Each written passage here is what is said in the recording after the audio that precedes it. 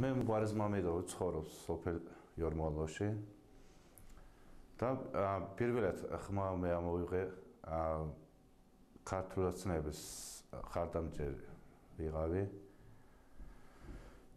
ბოლოს ბადონ ბიძინე ივანშვილის მოქალაქეს დადგენას გარდაკარ გავაკეთებე. დამაბარეს კონტროლ პალატა საგაჟოს რაიონის მუნიციპალიტეტს. და მითხრეს რატომ რატომ აკეთებ ამ გარდაგარს? და მომავალ თავრობამ რო მოვა და ეთქოს თათრები თანაც მითხრა თათრები ნაციონალები მითხრა. და გაღარეთ საქართველოს დატოვეთ. მე მაინც უკან არ გამოვედე.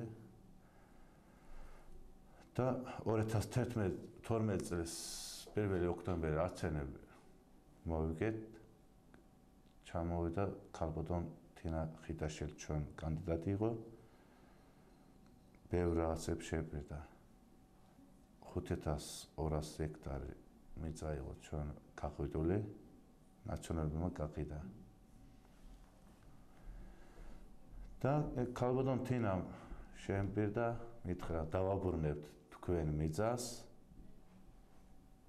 არცენებს შემდეგ ერთხელ მოვიდა სოფიაში იმ შემდეგ აღარ მოსლა.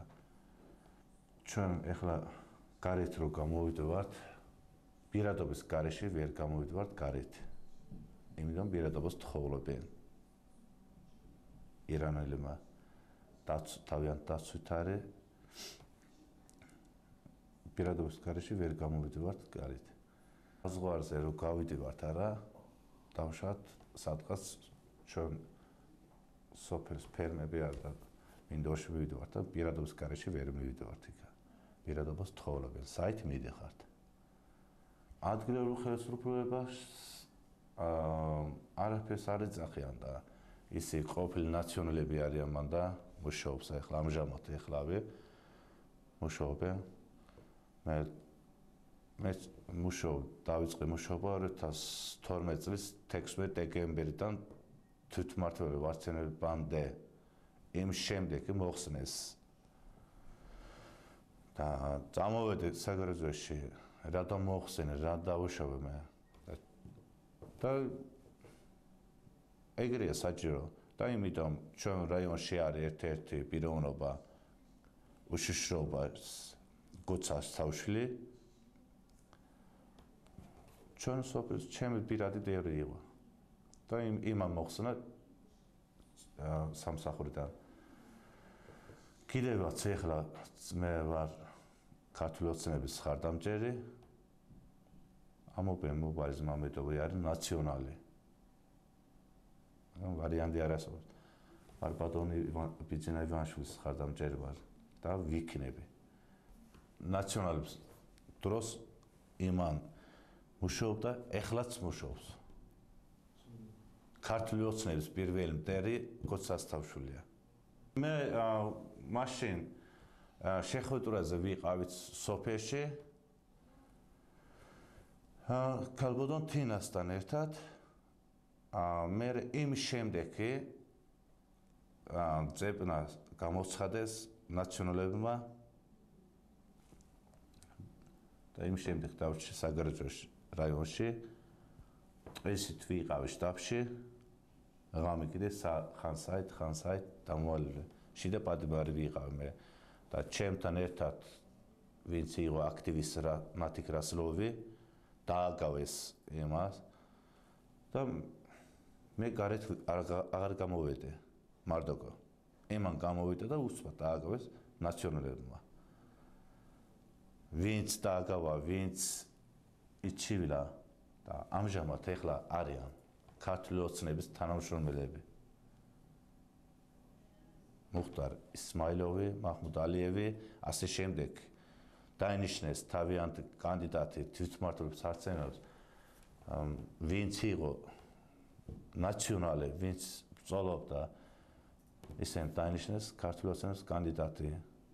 მე როცა მოვედე რომ დაინიშნეს ჩემ დროს წინ სკოლა არ იყო ვაფშე ჩვენ სოფელში, სოფელ ლამბოლოში 8 წელი ბავშვი სწავლობდა კომში და კერძო სახლებში. ასე 2012 წლის შემდეგ დაიწყო ქართული ოცნება ამ სკოლის საშენება. ბატონ ბიძინას ხრიდან დაიწყო სკოლის საშენება. შენებლობა მიდის ახლა ძალიან კარგად არ ძალიან ლამაზი სკოლა აშენდება. გაგეთა სოკარმა გაგეთა წყალი 2012 წლის შემდეგ გახსნა. სოკარმა ამ დიდი მადლობელი ვართ.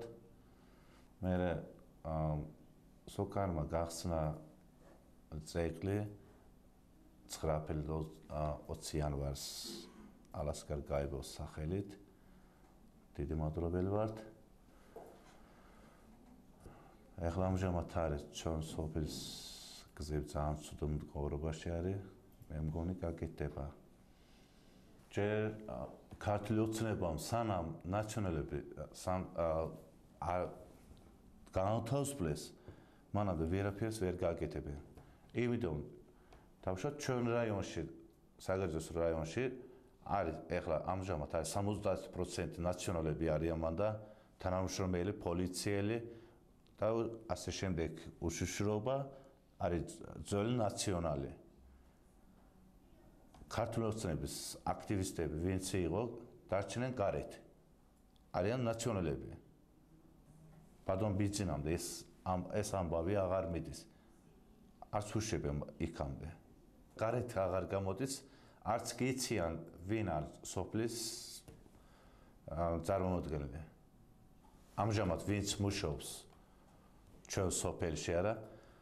მოსახლეები მარიციან და ვინ არის წარმომადგენელი არც გიციან და. სიმართლეს თხოვობ მე და და რადომ დაინიშნეს რა ინტერესი ჰქონდა და რადომ მოხსნეს მე სამსახურიდან რადომ მოხსნეს და ის აი გასაგებია მოხსნეს მოხსნეს. იმ ის პიროვნება ვინც იყო ნაციონალი ქართული ოცნების მტერი და რადომ დაინიშნა? ვინ დაინიშნა? გოცას თავშულმა დანიშნა ქართული ოცნების დროშა მუხტარ ისმაილოს ფეხქვეში რო იყო აღარ დაინახა თავრობა. ტელევიზიაში წარი და ბაზარში პირველად შეხვედრა რო გავაკეთოთ ჩვენ სოფელში და იმან დაიწყო ცხობი მანდა.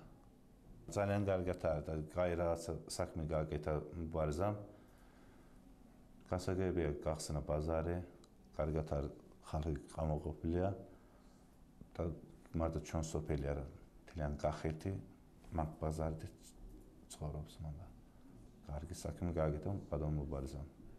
დიდი მადლობელი ვართ pa da bomo brez.